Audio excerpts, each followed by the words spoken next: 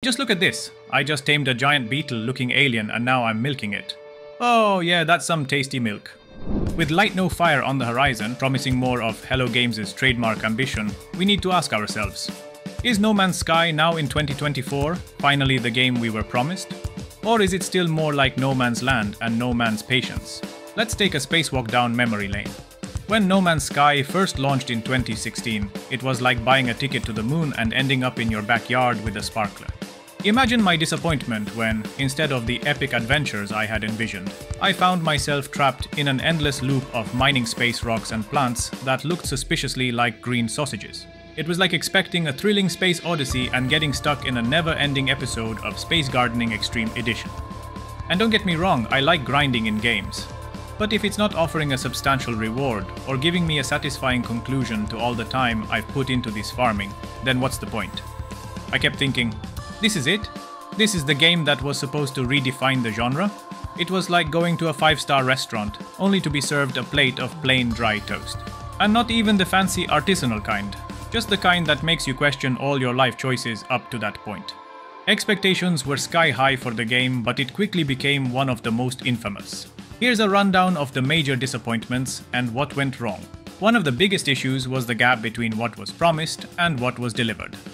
The game's creator, Sean Murray, and Hello Games set incredibly high expectations with their ambitious vision for the game. Pre-launch interviews and trailers suggested a universe filled with limitless possibilities, multiplayer exploration, vast planetary diversity, complex ecosystems, and dynamic space battles. However, when the game released, many of these features were either missing or significantly scaled down.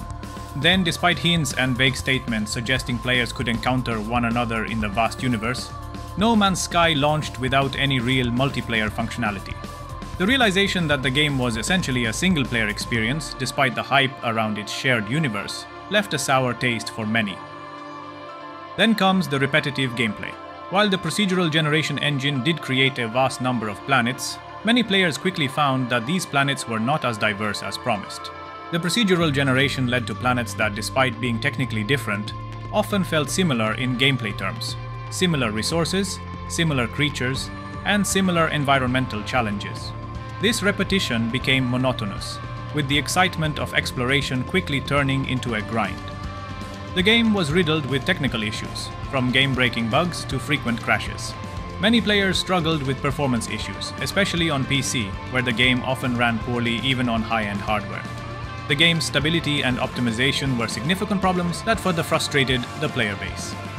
Then we have the ending. The game's ultimate goal of reaching the center of the galaxy was supposed to be a climactic moment. However, it turned out to be a massive disappointment. Offering a simple and underwhelming loop that restarted the game rather than providing a satisfying conclusion, this was the final blow for many players who had invested hours of gameplay, only to be met with an ending that felt like a slap in the face. By 2024, No Man's Sky has been transformed through more updates than your grandma's operating system. Seriously, Hello Games has worked so hard they probably have their own dedicated aisle in the Red Bull warehouse. The game is now bursting at the seams with content. There's base building, farming, deep sea exploration, giant mechs, living ships, exocrafts, and even the ability to own your very own fleet of starships. It's like Hello Games turned into that overachieving student who doesn't just do the homework, but also extra credit, tutors the class, and still finds time to start a band. The story of my first 10 hours in No Man's Sky began with a jarring wake up on an unknown planet.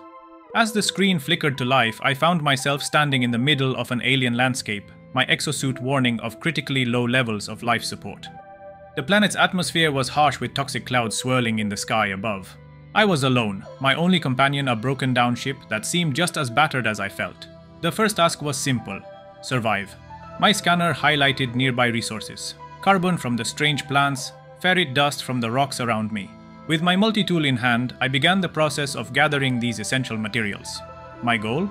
To repair my life support and hazard protection systems before the planet's toxic atmosphere took its toll. While gathering, I also discovered other life forms around, and they didn't seem to be hostile. Once I stabilized my suit, I turned my attention to the ship, my only means of escape from this desolate place. The wrecked vessel, a humble starship called the Radiant Pillar BC-1, was in dire need of repairs. The damage was extensive. The launch thrusters were offline, the pulse engine was fried, and the ship's hull was full of holes. My new objective was clear. Gather the necessary resources to get this bird back in the sky. With the game's guidance, I discovered that I needed a refiner to process the raw materials. I refined the ferrite dust into pure ferrite and crafted the launch fuel. Slowly but surely, my ship began to resemble something that might fly again. But the pulse engine required a critical component, a hermetic seal. My scanner was on the fritz, and I had to trek across the planet's surface to locate the seal. The journey was perilous, my life support systems constantly draining as I navigated the toxic terrain. Eventually, I stumbled upon a distress beacon, which directed me to a small, abandoned outpost. Inside, I found the hermetic seal, alongside a few scattered notes hinting at the planet's previous inhabitants. The toxic storm soon passed, and when I exited the outpost, I realized I was completely lost. I didn't know my way back to my ship. This is when I discovered I can craft add-ons to improve my multi-tool and my exosuit. The analysis visor was one of these add-ons, and it helped me identify distant points of interest, like the location of my ship. With that, I finally got back to my ship and completed the repairs. With a mixture of relief and excitement, I climbed into the cockpit and engaged the launch thrusters. The ship struggled at first, but soon it lifted off the ground, breaking free from the planet's grasp. The toxic clouds receded as I ascended into the black void of space. But my journey was far from over. As soon as I left the planet's atmosphere, my ship's systems alerted me to nearby distress signals. Curious, I set a course for the source. The signals led me to a neighboring planet where I discovered a crashed freighter. Scavenging the wreckage provided valuable resources and a glimpse into the broader mystery of the universe. The next few hours were a blur of exploration and discovery. I learned to refine more resources, craft technology, and even established a small base on a safer planet. I also discovered the space stations. These space stations are large alien spaceports able to be docked with a starship, providing a trading center, mission hub, and means to travel to habitable bases.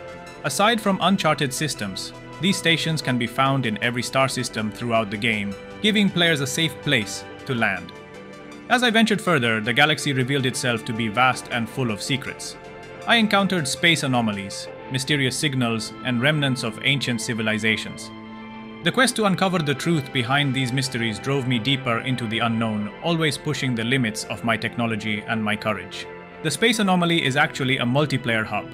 Here you can find some of the best technologies and quests. By the end of the 10th hour, I had traveled to multiple star systems, each with its own unique challenges and wonders, fought with a nest of bug aliens that infested an outpost. I acquired new ships and new tools, unlocked different terrain vehicles, and I've built multiple bases and settlements. I have become a bounty hunter for the outlaws, and I have battled sentient robotic aliens on the planets and in space. I even hatched an egg and got my first pet. But more than anything, I realized that No Man's Sky was a game about discovery. Each new planet, each new encounter, brought with it a sense of wonder and possibility. And I knew that my journey had only just begun. As a summary, No Man's Sky has transformed from a disappointing launch in 2016 to a beloved game due to consistent free updates that introduce vast new features like base building, multiplayer, expanded exploration, and story elements. The universe really feels alive and with lots of things to do. The developers at Hello Games listen to player feedback and continuously improve the game, turning it into a rich, immersive experience that now fulfills its original ambitious vision of an endless, ever-evolving universe to explore. Now the game still has the repetitive elements that some players might find tedious, like resource gathering and similar planetary environments.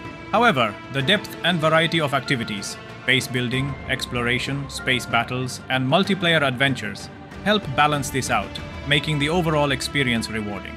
The constant updates and the sheer scale of the universe ensure that there's always something new to discover, which keeps the game fresh and engaging despite its repetitive aspects.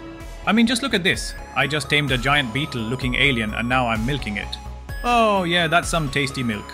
I will continue to play the game more as I love the endless possibilities it offers, the sense of wonder and discovery, and the freedom to chart my own course. If you're interested in more insights or tips on how to get the most out of No Man's Sky, consider subscribing as I will soon drop more videos. And if you have any questions, leave them in the comments.